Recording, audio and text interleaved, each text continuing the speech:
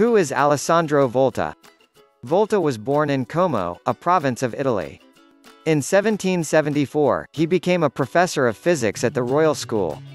A year later, he invented and introduced the electrophorus capable of producing static electricity. He believed that he would receive funds frequently with this invention. Volta studied the chemistry of gases between 1776 and 1778. After reading American Benjamin Franklin's Flammable Air article, he discovered methane and carefully searched for methane in Italy. In November 1776, he found methane in Maggiore Lake and began isolating methane in 1778. He conducted experiments by firing methane with the help of a spark in a closed box. Volta also worked on the subject of capacitance. He studied the electric potential and charge separately and discovered that they were interconnected. This can be called Volta's capacitance law. For this, the unit of the electric potential is called volts. In 1779, he became a professor of experimental physics at the University of Pavia. Almost 40 years retained this position. In 1794, Volta married Teresa Peregrini, an aristocratic woman of Comelu, and they had three children with the names Giovanni, Flaminio and Zanino. In honor of his work, Napoleon Bonaparte made Volta count.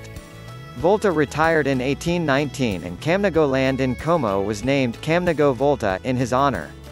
Volta's body is buried in Camnago Volta.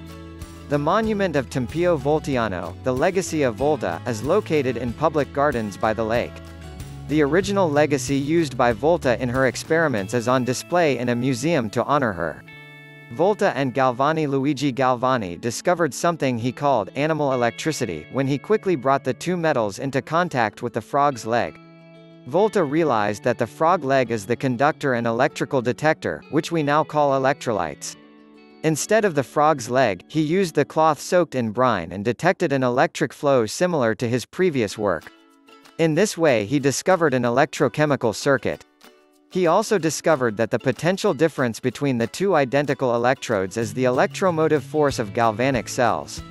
This can be called Volta's electrochemical circuit law. In 1800, as a result of his professional disagreement with Galvani, he invented the first electric cell, the voltaic battery, which constantly creates electric current. As a result of the Volta trials, he determined that the most effective metal pair was the zinc-copper pair.